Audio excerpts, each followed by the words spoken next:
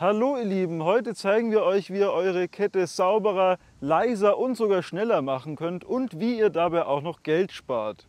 Optimize hat uns nämlich mit Kettenwachs ausgestattet und wir haben das Ganze für euch ausgiebig getestet. Ja, was ist Kettenwachs eigentlich? Warum schwärmen alle davon? Und was muss man aber unbedingt dabei beachten? Wir werden ein bisschen auf die Theorie heute eingehen, aber natürlich das Wichtigste, wie schaut der Langzeittest aus? Ich habe das Ganze hier schon am Schurli jetzt äh, knapp 1000 Kilometer getestet und ich werde euch dann am Ende von Video mein persönliches Fazit geben. Kettenwachs versus Öl, was würde ich dann wirklich empfehlen? Ganz am Ende gibt es auch noch einen Bonustipp für euch, wie ihr am besten und am günstigsten euren Antrieb sauber bekommt fürs Kettenwachs. Ja, und selbst wenn euch das Thema Kettenwachs jetzt überhaupt nicht interessiert, ich finde allein schon deswegen, weil das ganze nervige Kettenputzen damit der Vergangenheit angehört, ist es schon ein spannendes Thema aus meiner Sicht. Hier beispielsweise meine ölige Kette am Rennrad nach ungefähr 1000 Kilometer ohne sauber machen und hier die gewachste Kette nach knapp 800 Kilometer am Mountainbike auch ohne sauber machen. Das Ergebnis spricht für sich, denke ich. Ja, habt ihr vielleicht schon Erfahrungen mit Kettenwachs, mit äh, Optimize? Ich habe es auf Instagram schon gehört, dass viele von euch das auch benutzen. Oder auch von einem anderen Hersteller oder fahrt ihr noch Kettenöl? Schreibt es gerne einfach mal alle unten eure Meinung in die Kommentare. Würde mich total freuen, wenn wir da so ein bisschen Austausch auch hätten. In diesem Video reden wir jetzt wirklich nur über äh, flüssiges äh, Kettenwachs. Es gibt theoretisch auch noch Heißwachs, ist vielleicht ein Thema für ein anderes Video dann nochmal. Ja, vielleicht noch ein Hinweis zur Transparenz. Viele von euch haben sich das Thema Kettenwachs schon länger gewünscht. Optimize hat uns jetzt hier äh, ausgestattet, muss ich ganz klar dazu sagen. Und ich bin auch äh, Fan von den Produkten. Ihr könnt es jetzt übrigens auch mit unserem Rabattcode ähm, bei Optimize auf der Webseite Verkehr 10, glaube ich, äh, kriegt ihr 10% Rabatt. Und ich muss sagen, das liegt mir auch wirklich am Herzen. Die haben uns extra die Produkte hier rüber geschickt. Wir haben das Ganze getestet. Und wenn ihr euch einen Wachs bestellt, würde es mich freuen, wenn ihr dazu erstmal vorbeischaut. So viel sei an dieser Stelle gesagt. Wir bemühen uns hier um ein neutrales Review. Jetzt aber ganz viel Spaß mit dem Video. Ja, übrigens, ich weiß noch gar nicht genau, was ihr gewinnen könnt. Ihr könnt auf jeden Fall irgendeinen äh, Kettenwachs von Optimize gewinnen. Alles, was ihr machen müsst, ist einen Kommentar dalassen, auf Instagram rüber zu gehen und auf meinem Profil den letzten Post, wo ihr irgendwie eine Flasche Kettenwachs oder so, irgendwas werde ich dann da posten. Liked einfach diesen Beitrag lasst da auch einen Kommentar da. Und wenn ihr unbedingt gewinnen wollt, ist jetzt optional, müsst ihr nicht machen, dann äh, teilt ihr auch noch diesen Beitrag äh, in eure Story. Und wenn ihr jetzt nicht äh, wisst, wie das geht, kein Problem, lasst einfach einen Kommentar da auf Instagram und auf YouTube. Und dann bin ich mir sicher, wird der glückliche Gewinner das hier ausprobieren und dann auch happy sein mit seinem neuen Kettenwachs. Ja, genau, was jetzt hier der Unterschied zwischen den farbigen Flaschen und so weiter äh, ist, gehen wir gleich drauf ein. Jetzt erst einmal generell zum Thema Kettenwachs. Das ist ja wahrscheinlich auch das, was euch am meisten jetzt interessiert. Die Unterschiede zum Öl, die Vor- und die Nachteile. Und gleich hat äh, die Eva für uns übrigens äh, eine tolle Anleitung vorbereitet, was man alles machen muss, bevor man wirklich Kettenwachs überhaupt benutzen kann. Also gleich die Anleitung dann. Das Besondere jetzt erst einmal äh, vom Wachs, was es auch vom Öl unterscheidet, ist, dass es bei Raumtemperatur oder so wie jetzt eben äh, trocken ist. Öl ist ja immer flüssig, Wachs ist trocken. Das hat einige Vorteile. Wenn wir jetzt äh, uns anschauen, übrigens das Zeug hier, wir können es ja mal aufmachen, das ist jetzt schon in der Flasche ähm, flüssig. Ja? Also es, ja, es geht eigentlich. Das Wachs hier in der Flasche ist nur flüssig wegen den Zusatzstoffen und nach dem Auftragen äh, verdampft es auch und es wird dann eben auch fest, also Wachs immer fest an eurer Kette dran. Heißwachs muss man ja sogar erst erhitzen, beispielsweise im Kochtopf. Wie gesagt, können wir uns gerne noch mal in einem anderen Video dann anschauen. Trockenes Kettenwachs hat den Vorteil, dass es sich nicht so mit dem Dreck verbindet und dann nicht so dieser schwarze, äh, ölige Dreck da entsteht, wie halt beim Kettenöl normalerweise. Beim Kettenwachs bleibt der ganze Antrieb sauber. Und das Coole ist, wenn dann trotzdem mal Dreck an das Wachs drankommt, dann fällt das Wachs mit dem Dreck gemeinsam ab. Deswegen bleibt sogar der Antrieb sauberer als der Rest vom Rad. Also wenn jetzt beispielsweise hier so ein bisschen so eine Dreckschicht, so ein bisschen Staub drüber ist, der Antrieb sollte trotzdem noch einigermaßen glänzen. Genau, die Eva schaut schon, ob es wirklich stimmt und glänzt es? Ja. Toll. Ich habe es eh schon erwähnt, werde es wahrscheinlich auch noch ein paar Mal erwähnen. Dadurch müsst ihr nicht mehr dieses nervige Kettenputzen machen. Das ist schon wirklich cool, finde ich. Ja, das Thema Sauberkeit bringt uns auch schon zum nächsten Punkt, und zwar Geschwindigkeit. Die Kette und der Antrieb an sich läuft jetzt einfach leichter, dadurch braucht ihr weniger Widerstand und seid schneller unterwegs. Das hat allein schon den Grund, dass nachgewiesenerweise eine ölige Kette, die sehr mit Schmutz zugesetzt ist, deutlich schlechter läuft als eine saubere Kette, ist ja sowieso logisch. Und da wir das Schmutzproblem beim Wachs nicht mehr haben, sind wir da eben auch immer flott unterwegs. Es kommt dann aber auch noch dazu, dass das Wachs generell auch leichter läuft. Vor allem hier äh, diese beiden, das werden wir uns gleich nochmal anschauen, was die so besonders macht. Aber nicht ohne Grund wird beispielsweise auch bei der Tour de France und vor allem beim Einzelzeitfahren auf spezielle Kettenwachse gesetzt mit besonderen Additiven. Uh. Welche besonderen Additive da alles drinnen sein können, darauf gehen wir auch ganz kurz ein. Ja, wir haben jetzt schon gelernt, die Kette bleibt sauberer, sie läuft leichter und was hat es natürlich auch noch für einen tollen positiven Nebeneffekt? Watt sparen. Ja, Watt sparen hatten wir ja gerade schon. Sauberkeit. Ja, stimmt auch, aber ich will jetzt Kosten auf den sparen. kommt auch gleich noch. Ich möchte jetzt aber auf den niedrigen Verschleiß noch mal eingehen. Das ist ja generell auch bei öligen Ketten das Problem, ähm, dass sobald der Schmutz da reinkommt, dann geht es ja eigentlich wirklich los mit dem Verschleiß. Und das haben wir gerade schon äh, erklärt, warum das jetzt hier nicht mehr so das Problem ist. Und dadurch erhöht sich eben auch die Lebensdauer von so einer Kette, was sich dann auch auf die anderen Komponenten, also insbesondere eure Kassette und die Kettenblätter auswirkt. Und den ganzen Komponenten geht es dann dadurch einfach besser, weniger Schmutz ist im System und so äh, muss man seltener die Kette wechseln und auch die anderen Komponenten das ist nicht nur gut für euren Geldbeutel, sondern aus meiner Sicht macht das Ganze auch ein bisschen nachhaltiger, weil so eine Fahrradkette muss ja auch erstmal produziert werden und desto länger die hält, desto besser ist es ja auch für die Umwelt. Ja, eine weitere Sache, die ich jetzt so nicht verifizieren kann, aber von Optimize habe ich erfahren, dass eben die Optimize-Wachse hier einen, äh, ein Alleinstellungsmerkmal haben und das ist eben der höhere Schmelzpunkt. Das heißt, dass sie auch bei höheren Temperaturen äh, länger fest sind und halt nicht schmelzen. Und das ist eben auch nochmal vorteilhaft für die Kette und insbesondere soll es wohl auch dazu beitragen, dass die Kette leiser läuft. Und da muss ich jetzt dazu sagen, ich kann jetzt nicht wirklich verifizieren, wie das mit dem Schmelzpunkt und so weiter ist. Das wäre jetzt unseriös, wenn ich das jetzt einfach nachreden würde. Aber aus meiner Sicht, was ich nur beurteilen kann, ist, dass ich auch nach 100, 200, wahrscheinlich sogar noch mehr Kilometer nie irgendwelche komischen Geräusche im Antrieb hatte. Ja, eine Sache, die ein bisschen doof ist am Kettenwachs, es ist nicht so weit verbreitet. Das merkt man vor allem dann, wenn man sich beispielsweise eine neue Kette kauft. Die kommen nämlich immer schon vorgefettet und da muss man dann das Fett beispielsweise sehr mühevoll erstmal abmachen, bevor man überhaupt das Wachs dann auftragen kann. Bevor Sie jetzt die super Nerds unter euch wieder aufregen, ich hätte keine Ahnung. Ja, ich weiß auch, es gibt bereits vorentfettete Ketten, die dann vielleicht auch schon gewachst sind. Das ist mir einfach zu teuer, weil das dann immer irgendwie so Nischenanbieter sind. Ich glaube, dass Optimize das sogar auch mal angeboten hat. Ich glaube, mittlerweile geht es nicht mehr. Da würde ich empfehlen, informiert euch einmal, wie man selber entfettet. Das macht dann eigentlich sogar Spaß. Sie werden es gleich dann sehen. Und dann habt ihr halt Ruhe und könnt selber wachsen. Also da, ja, das ist halt eben der Kompromiss, den man da eingehen muss. Du, was ist denn das eigentlich, das Kettenwachs?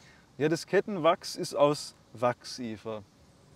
Bienenwachs. Bienenwachs, äh, ist es vegan? Das werden wir uns jetzt anschauen. Das haben mich wirklich Leute gefragt auf Instagram. Also es ist nicht das Bienenwachs.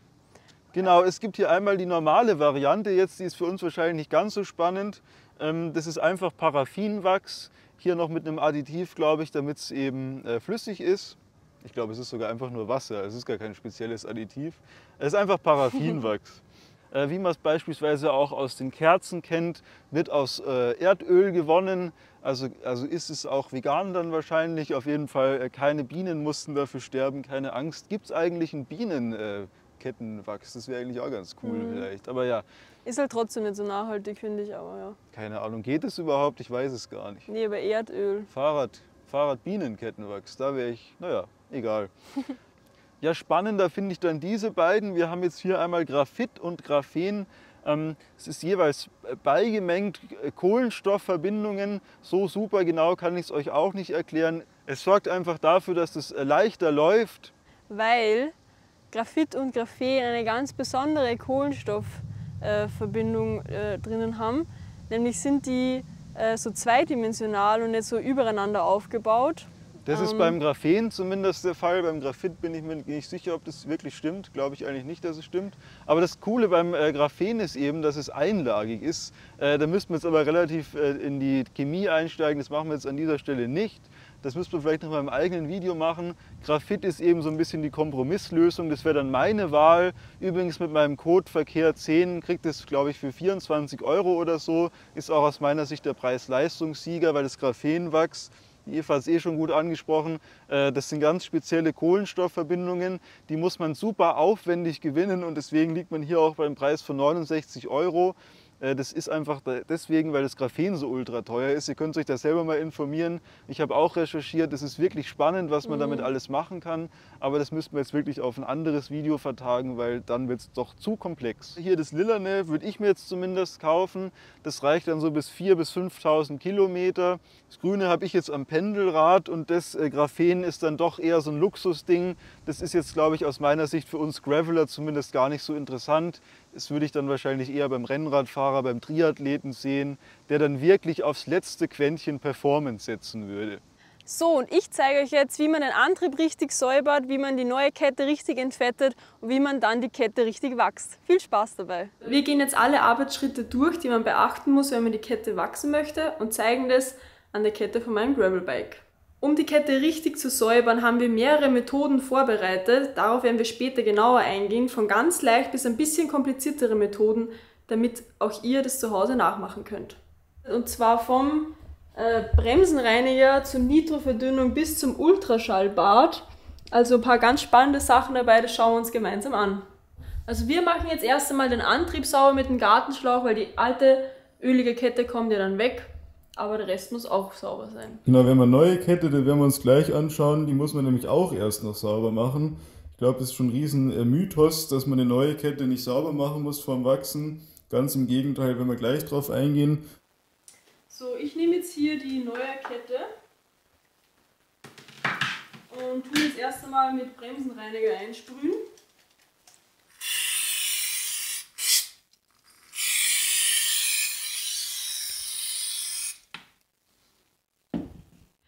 Wir haben die jetzt mit einem Bremsenreiniger einmal kurz eingesprüht und dann in eine Nitroverdünnung eingelegt.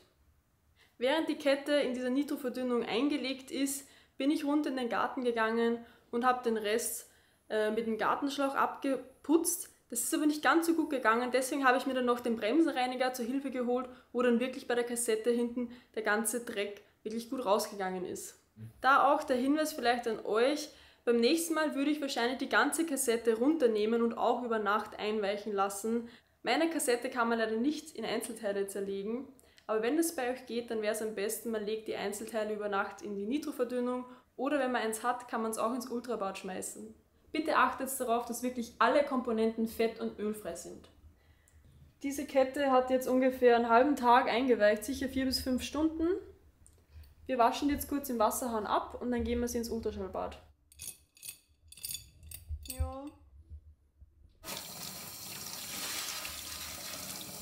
Hier haben wir jetzt unser Profi-Ultraschall-Reinigungsgerät für echte Profis, so wie wir. Genau. Wir sind nämlich die Profis. Und wir erklären euch jetzt, wie das Gerät funktioniert. Also eine Sache mal, man muss es immer mit Wasser drin benutzen. Man kann auch noch so Reinigungsmittel dazugeben, zeigen wir euch gleich. Hier kann man jetzt auch noch die äh, Temperatur einstellen. Dann macht es das Ganze heiß. Und hier haben wir einfach einen Timer, wie lang sollen die Ultraschallwellen, die hier durchgehen, ähm, ja, den Reinigungsvorgang praktisch machen. Ja, eine Sache habe ich gestern noch ausprobiert. Ich habe einfach das Einmachglas mit der Nitroverdünnung da reingestellt. Das kann man nämlich auch machen. Dann hat man theoretisch noch mal eine extra Reinigungswirkung. Aber dann unbedingt die Temperatur hier ausschalten. Also nicht, dass ihr das erhitzt. Gerade mit Waschbenzin drin oder so ist, glaube ich, keine gute Sache. Und äh, fragt da ruhig lieber nochmal den Radmechaniker oder Apotheker für Risiken und äh, mögliche Verpuffungen oder Explosionen. So, wir heizen jetzt das Gerät auf 60 Grad vor und holen uns dann das Reinigungsadditiv. Hier haben wir dieses Reinigungsmittel. Das kommt schon mit dazu, oder? oder? Das gibt's beides bei Optimize im Shop. Und wie gesagt, man muss es nicht kaufen, aber wenn man da Bock drauf hat äh, und richtig äh, Spaß an der Kettenreinigung hat, ist es, glaube ich, eine coole Sache. Ja, wir haben extrem viel Spaß, auch Extremreiniger. Perfekt. Genau, wir sind ja auch extrem, extreme Profis. Hier, extreme Ultrafahrer. Genau, und da steht jetzt drauf 5 bis 20 Prozent, also einfach mal einen ordentlichen Schluck da reingeben, bitte. Genau, das hat schon so eine komische Farbe.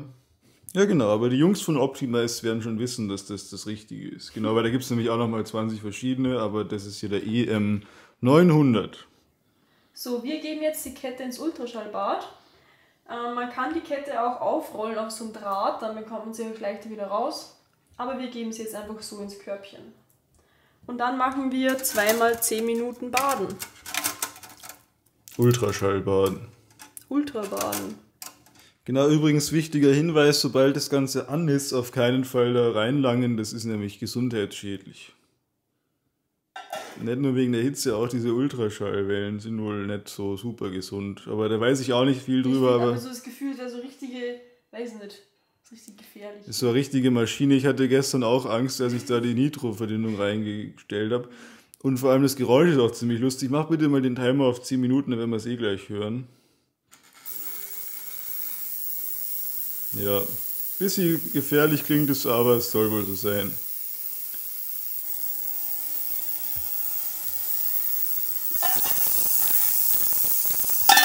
So, wir sind jetzt hier schon gleich fertig mit unseren 2x10 Minuten. Davor wollte ich aber noch sagen, wir haben hier den 2 Liter äh, Ultraschallreiniger. Es gibt ihn auch ein bisschen größer mit 3 Litern. Und das ist insofern cool, weil man dann auch ähm, vielleicht die Kassette reinpacken kann und dort auch noch den Schmutz wegbringt. Also checkt unbedingt vorher die Abmessungen und ich glaube, theoretisch könnte man hier auch schon eine kleine Kassette reingeben. Ja, sieht gut aus. Hier ist jetzt unsere Kette drinnen. So, dann halten wir die jetzt wieder unter fließendes Wasser. Dafür gehen wir jetzt kurz wieder in die Küche. So sieht die Kette dann aus, wenn sie gereinigt ist. Dazu gibt es auch noch das passende Kettenschloss. Das habe ich auch noch gereinigt. Wir montieren jetzt die Kette und danach werden wir sie wachsen. So, wir haben jetzt die alte Kette neben die neue Kette gelegt, weil die brauchen wir ja für die Bemessung der Länge. Das heißt, ich werde jetzt die neue Kette ungefähr hier durchnieten und dann montiere ich sie im Fahrrad.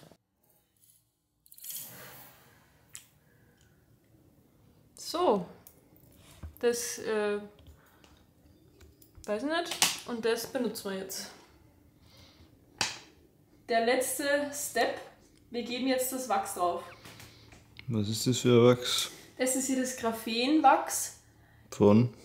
Von Optimize.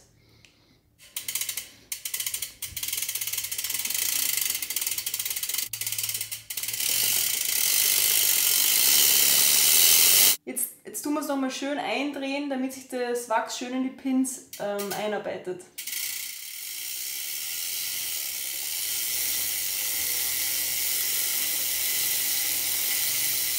Lassen wir es über noch stehen. Und schalten tun wir gar nicht.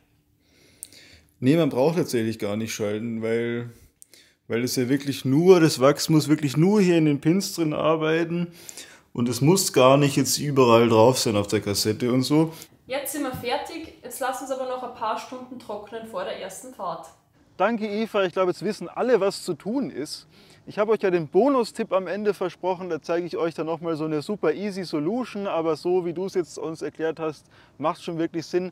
Achtet bitte nur darauf, benutzt auf jeden Fall nur Bremsenreiniger oder Nitroverdünnung, nicht irgendwie Waschbenzin. Es ist wirklich wichtig, dass das Ganze restentfettend ist.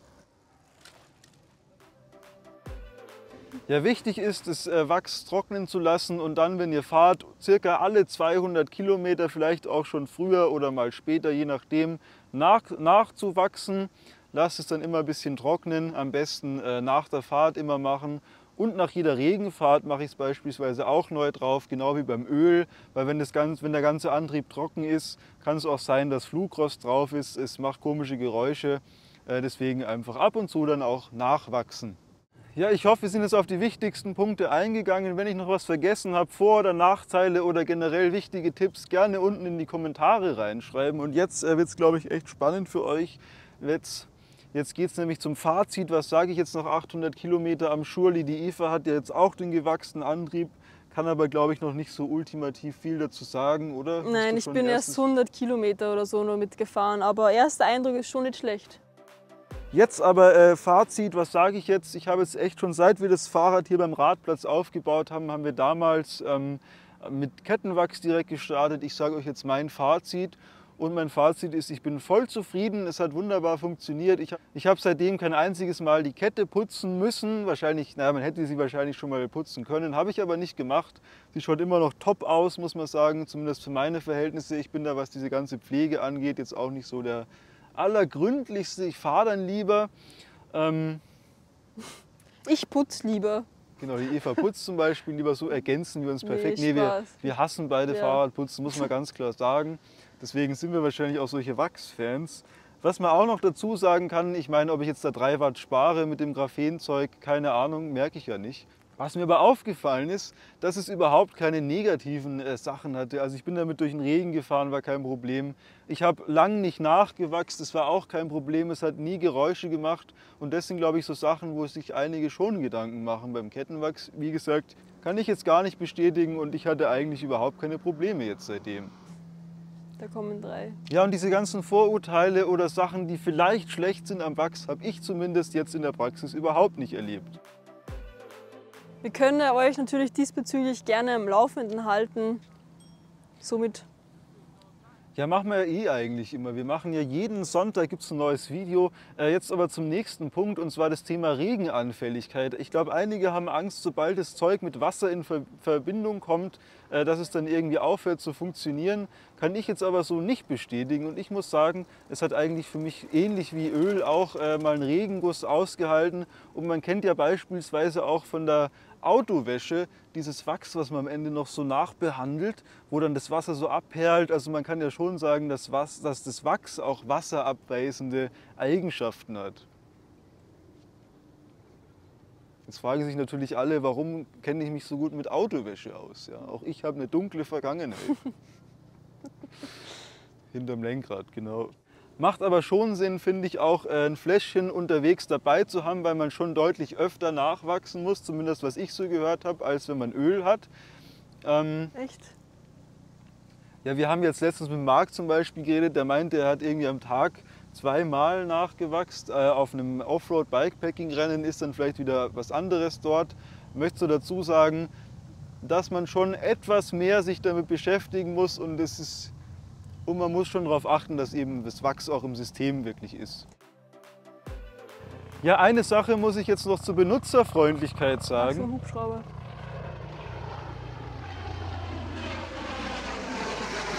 Ja, Thema Benutzerfreundlichkeit. Man muss sich schon etwas mehr im Vorhinein damit beschäftigen als beim Öl. Man muss sich schon ein bisschen auskennen. Man muss erst mal wissen, äh, man muss es alles entfetten und so weiter. Wenn man das einmal drauf hat, dann ist es aber eigentlich genauso easy zu benutzen wie Öl. Man muss nur dazu sagen, es ist schon, man braucht ein bisschen mehr äh, Zeitinvest.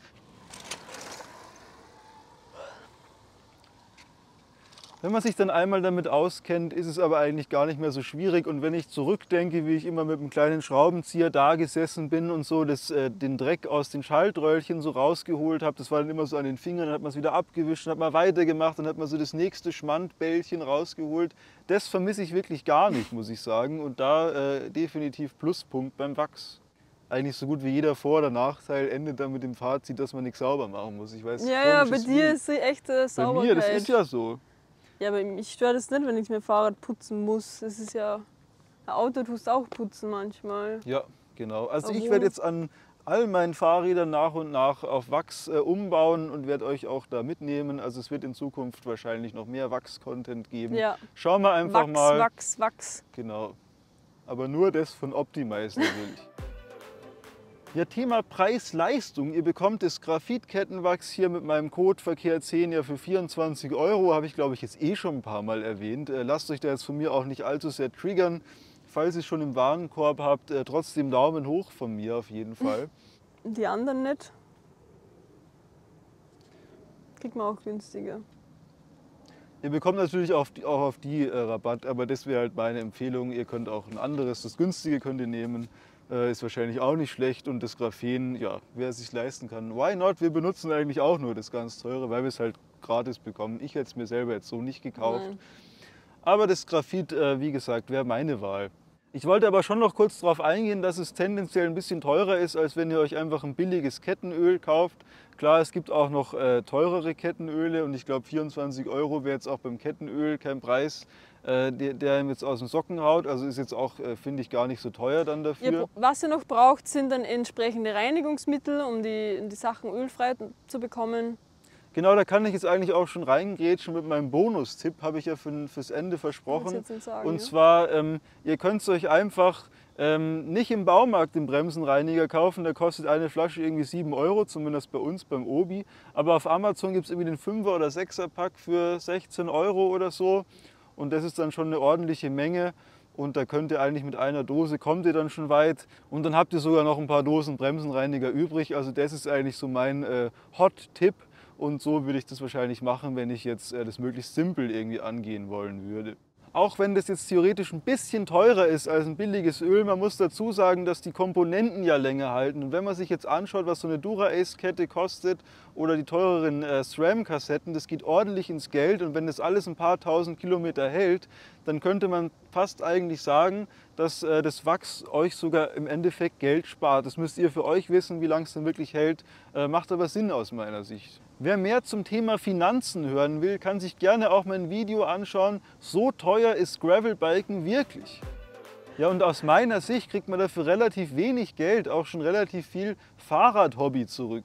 Du meinst, man spart sich jetzt so die Investitionen in neue Laufräder, in Carbon-Schnickschnack und sowas, oder wie? Verglichen mit dem, was man zum Beispiel für Carbon ausgibt und ja, wie wenig das dann am Fahrrad erneuert praktisch, habe ich das Gefühl, dass man hier für, weiß ich nicht, 20 Euro das Wachs und dann nochmal 20 Euro den Bremsenreiniger, da kann man sich schon ein paar Stunden mit beschäftigen, man hat irgendwie Freude dran, man hat auf einmal einen gewachsenen Antrieb und das macht schon wirklich einen ordentlichen Unterschied, wie das Fahrrad fährt, wie sich es verhält. Und ähm, wenn man jetzt alles, wie du sagst, auf Carbon umbaut, dann hat man einen Haufen Geld umgebaut und dann ist es halt leichter, das Fahrrad. Ich meine, das kann man vielleicht nicht direkt vergleichen, aber vielleicht wissen ein paar von euch, was ich damit meine. Ja, probiert es gerne mal aus, wenn wir euch jetzt neugierig gemacht haben. Äh, wenn nicht, dann hoffe ich, habt ihr zumindest was gelernt. Und an alle ähm, leidenschaftlichen Kettenputzer da draußen, nehmt es mir jetzt nicht übel, dass ich mich die ganze Zeit äh, drüber ausgelassen habe. Mir macht es einfach keinen Spaß. Ich kenne aber auch viele, die sich da gerne mal Sonntagnachmittag hinsetzen und eine Stunde vielleicht da irgendwie rumwursteln. Äh, Verstehe ich auch irgendwo. Meine Sache ist es nicht, aber habe ich auch Respekt davor. Muss ich jetzt nur an dieser Stelle noch sagen. Ansonsten gerne eure Meinung da lassen. Schaut gerne mal bei Optimize vorbei. Vielen Dank nochmal, dass wir das hier alles äh, einfach so ausprobieren dürfen. Das ist auch für uns cool. So, das war es dann auch schon wieder von uns. Wir hoffen, das Video hat euch gefallen. Es war mal ein bisschen was anderes. Und ähm, ja, lasst gerne eure Meinung unten in den Kommentaren da. Und ja, dann würde ich sagen, wir fahren jetzt nach Hause und wir sehen uns beim nächsten Ride. Gute und sichere Fahrt, euer Wiener Verkehr.